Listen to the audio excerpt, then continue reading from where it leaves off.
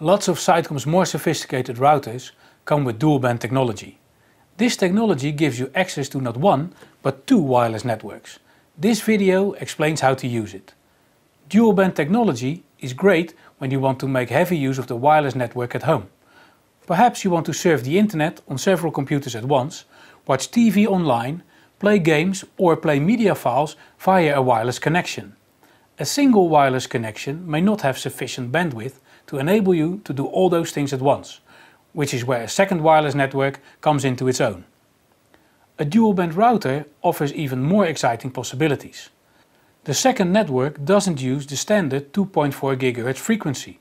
This is the same frequency as that is used by most other wireless networks and lots of other devices which operate with radio waves, such as microwave ovens, wireless DECT telephones and devices fitted with Bluetooth. Instead, it uses the 5 GHz band, which isn't used by other equipment. And because of that, it enables a quick, reliable connection. Because Sitecom dual band routers support simultaneous dual band, you can use the 2.4 and 5 GHz band at the same time, giving you two wireless networks. This second wireless network is really easy to use, provided your PC is suitable.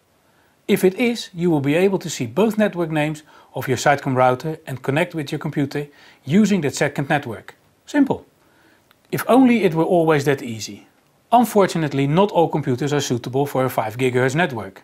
If so, you will only see one wireless network instead of two, even though the Sitecom router is transmitting the second network. If you would still like to use the second wireless network, you will need a separate network adapter for your computer, such as the Sitecom WLA 5000 wireless adapter. I've already installed the drivers on this computer and have disconnected the wireless connection on my laptop. Because I want to make heavy use of my wireless network, I'm selecting the 5 GHz band. My other computers are currently using 2.4 GHz.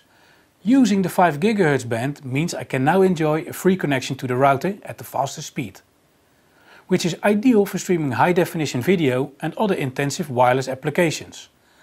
Using the 5 GHz band allows you to enjoy smooth image playback, even with larger video files. You can also use a dual band adapter to connect our media players to your home network, without the use of wires.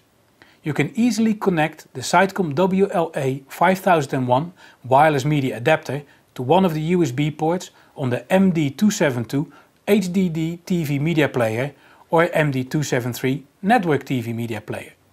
Again, if you use the 5 GHz band, you create a fast and reliable wireless connection that's great for playing back high definition video footage.